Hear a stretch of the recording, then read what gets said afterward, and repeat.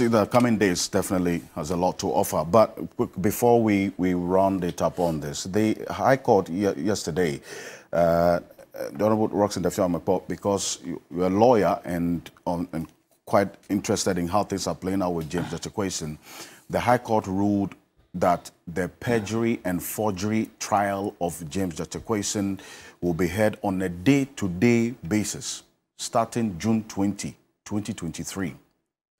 In fact, this decision followed the court's rejection of a request made by Gyakye's lawyer, Justin Teriwajah, to postpone the trial until the Assin North by-election is over, after June 27. Presided by Justice Mary Maame Ekue Yanzuh, the court determined to proceed with the trial without delay. This was because the Attorney General, Godfred Yeboah Dame, you understand, was in court himself, opposed this argument by the, the lawyer for Gyakye, emphasizing that Gyakye had not been assigned any national duty for that matter. So, because of the seriousness, according to the Attorney General, the seriousness of the charges against Quayson, a conviction could result in imprisonment, hence the importance of going ahead of this. So June 20th, June 21st, 23rd, supposed to be in, in court. Lawyer, quick one on this, and then... Yet, uh, all these matters are predicated on Article 90 of the Constitution. Mm. Presumption of innocence until proven guilty.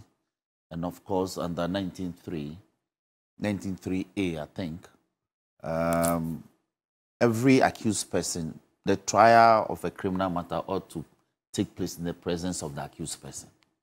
So it's a bit difficult for an accused not to be in court for trial to start.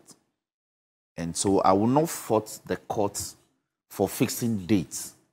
But the problem that the NDC has is the manner of the fixing of the dates, the circumstances surrounding the case. This case was filed over two years ago. Over two years ago. I am told that it was filed over two years ago. Suddenly, in April, May, June, the Republic sees it fit to start trial. That's fine. But you don't stampede the parties, the accused person especially, into hearing. If you say stampede, what do you mean?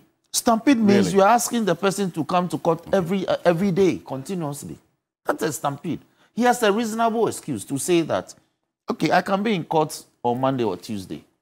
But thereafter, give me another week to be able to go sort out some personal issues and come back to court. In any case, it's on bail. So he's, he's available to defend himself in the matter. He's, he's not absconding from the jurisdiction. He's not a fugitive of justice. The lawyer has indeed, you see, court hearings are the convenience of parties and the court. That is why when a lawyer proposes a date for a matter to be heard, the court can say that no, per my calendar, I cannot, I cannot accommodate you. So another date will be taken. The, the lawyer on the other side will say, no, that's okay, but it inconveniences me because I'm before another court. So when a lawyer makes a prayer and the judge flatly refuses and unreasonably says hearing days for three, four days, it's a problem. A single day would have been sufficient. Then you see how, like lawyers will say, then we'll okay. see how it goes. In any case, a decision, a decision to fix a hearing date is also a decision of the court. And I think it can be looked at. Okay.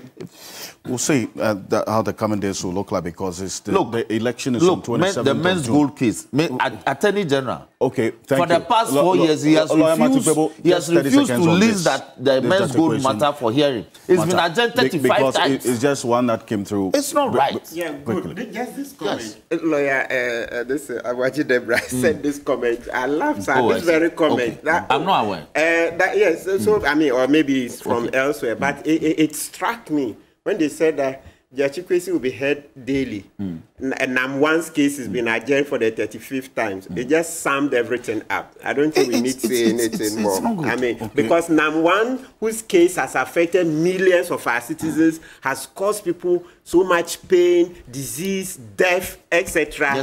That one is not urgent. Oh. It's this one that, ah, well, hmm, boy. Okay. Let me keep quiet. yeah, I just want first and foremost to correct the misrepresentation that the case was filed two years ago. The case was filed actually on the 12th of February 2022. That is not two years. No. I was that told that was filed I, two I'm years giving okay. the specific date. Okay. So I'm telling you that it is not two years ago. That is one. I mean, he was charged with five counts. Again, that is within the court to decide. He is a lawyer. He knows that that is the discretionary power of the court system to decide on days of management. So for me, I will leave it at that to say that the judiciary be a different arm of government and being entrusted with the mandate of dispensing justice. If they decide on that and they feel it's fitted to do that in the interest of, I mean, uh, delivering justice, why not? So I think that we can have disagreement with how, and it's genuine when we disagree with the court on how they go about dispensing their justice, which is within our right. But let us also be mindful that the, the courts are there to serve the people of Ghana. And when they are doing it, we can discuss it from, from that particular perspective. Okay. May Thank I, you. May I respond quickly? Exercise of discretion ought not to be arbitrary. Of course, we know that within Ought the, not to our be administrative justice okay. Okay, law yes. has stated Ought that. not to be we know arbitrary. that. We know Just that. for the record. I know All right. that. Dr. Tia Abdul Kabiru Mahama is technical advisor, Office of the President. Also, thank you to you, Rockson Nelson Dafeamekpor, MP for South Dayi, and to you, uh, lawyer Martin Kpebu. Appreciate your time. Gentlemen, thank you very much for joining us this, this morning on Key Point. Stay with me. We're live on 3FM 92.7. An exclusive interview with lawyer Tsatsu Tsikata comes up right after this quick break. This is Key Point. Have a number of things to talk about with lawyer Tsatsu Tsikata. Promises to be interesting. Stay with me. We'll be back shortly.